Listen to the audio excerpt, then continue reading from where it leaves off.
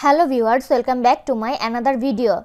Lots of iPhone users are reporting that messages repeat alerts not working since updating iPhone. In this video, I will show you how to fix this issue. Solution 1. Reboot your iPhone. For that, go to Settings app. Next, tap on General. Now scroll down to bottom and tap on Shutdown. Turn off your device by dragging the slide to power off slider to right side. Then wait for few seconds and turn your device back on. Solution 2 check repeat alerts. For that go to settings app, tap on notifications. Here find the messages,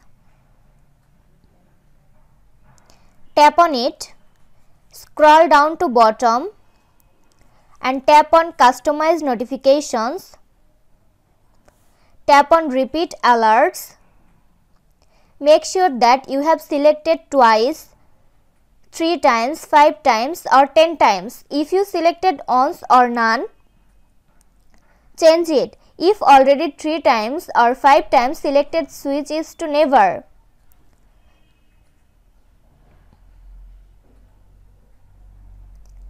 Then reboot your device. Now select the alerts time according to your need. Solution 3. Force restart your iPhone. Quickly press and release the volume up button. Next quickly press and release the volume down button. Finally press and hold the side or power button until you see the Apple logo. Solution 4. Check for iOS update. To update, open settings app. Find and tap on general Tap on software update. If any update is available, download and install it. Solution 5. Reset all settings.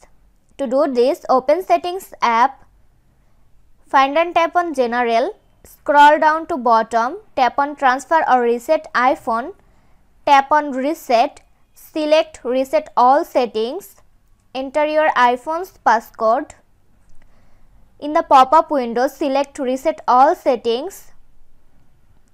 Again, select Reset All Settings to confirm this process. This was today's video. Hope you like and enjoy the video.